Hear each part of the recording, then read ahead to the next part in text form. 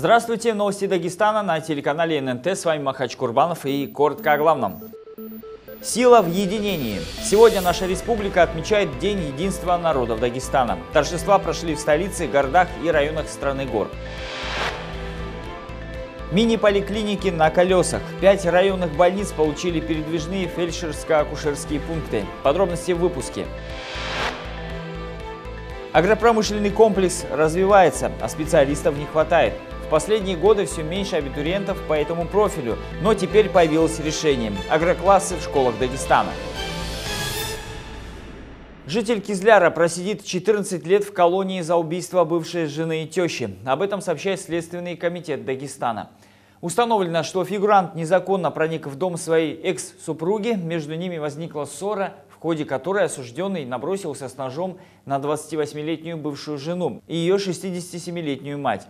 От полученных ранений женщины скончались. Сам мужчина в содеянном признался и заявил, что действовал из ревности. Почти 300 лет назад, несмотря на различия в языке и национальные особенности, дагестанские народы объединились и отстояли свою общую родину в борьбе с Надиршахом. Тогда единство дагестанцев, дружба и взаимовыручка помогли достойно пройти сквозь суровые испытания. Горцы были полны решимости и уверенности в победе, хотя противник был очень серьезным – до этого персидские войска покорили Афганистан и огромную Индию. Захватив несметные богатства, получив жалование за год вперед, захватчики двинулись на страну гор. Однако попытки Надиршаха покорить Дагестан в итоге не увенчались успехом. Дагестанцам удалось нанести неприятелю большой урон и в конце концов остановить наступающие полчища персов. Сам шах убежал, бросив даже свою саблю и корону. Это была поистине всеобщая победа, отвоеванная у грозного противника всеми дагестанцами. Страна гор получила огромный опыт народного единения, память о котором и сегодня сплачивает дагестанцев для решения общих задач. В этот день во всех городах и районах Республики Дагестан ежегодно проходили различные торжественные мероприятия, народные гуляния и концерты. В этом году по понятным причинам во многих городах массовые мероприятия отменены – но этот значимый в нашей истории день не остался забытым.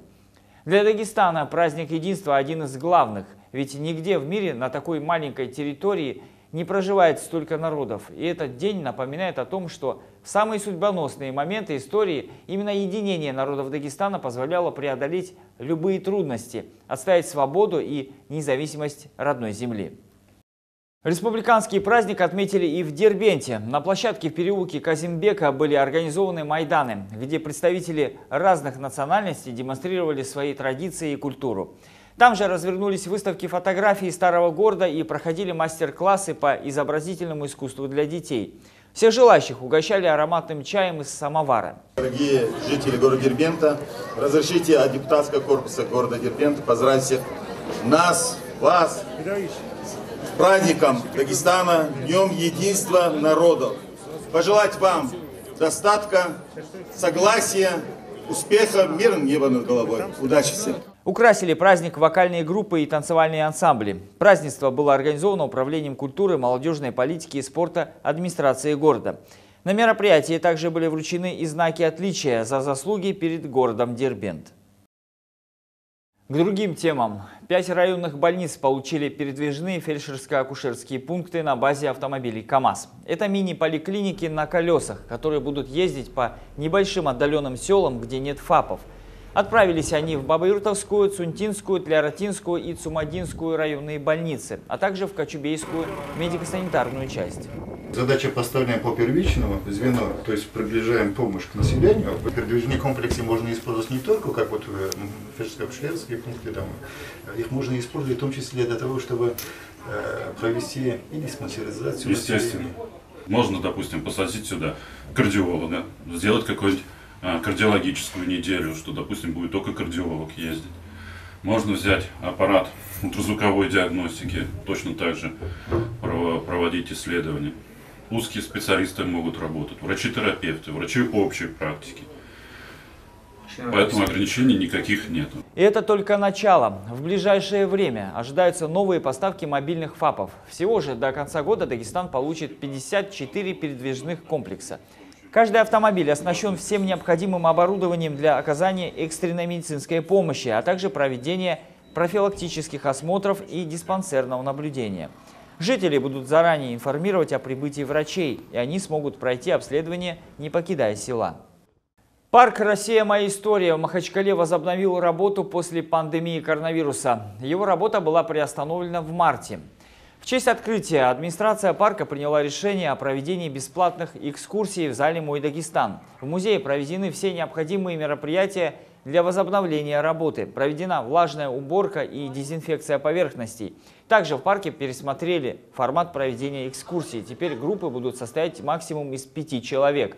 Они будут проходить с соблюдением масочного режима и социальной дистанции. Агроклассы появятся в школах Дагестана. Старшеклассники смогут освоить основы растениеводства, животноводства и других направлений аграрного бизнеса, сообщает Минсельхозпроди Республики. В пилотном режиме проект может быть запущен на базе нескольких школ. Минсельхозпрод совместно с Минобрнауки региона сформирует агроклассы в 4-5 школах. В них будут принимать учеников 8-11 классов, а преподавать им будут специалисты ведущих сельхозпредприятий республики. Отметим, что в Дагестане наращиваются темпы развития отраслей агропромышленного комплекса, но в последние годы становится все меньше абитуриентов, поступающих, чтобы овладеть специальностями в этой сфере. В 2021 году повысят пенсию по старости. Об этом сообщили в Минтруда России. Так, среднегодовой размер страховых выплат у неработающих пенсионеров составит 17 443 рубля. Страховые пенсии проиндексируют на 6,3%, социальные на 2,6%. В следующем году на эти цели планируют выделить 7,8 триллиона рублей. Пенсионный фонд России обеспечит выплату для 43 миллионов человек.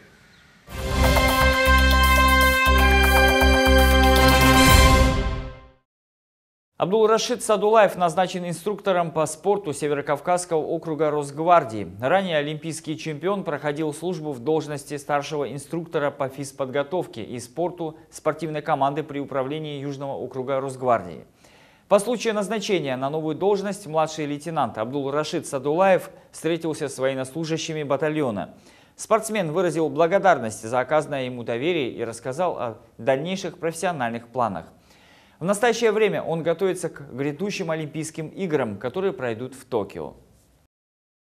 И на этом у нас все. Смотрите новости Дагестана. Всего хорошего. До свидания.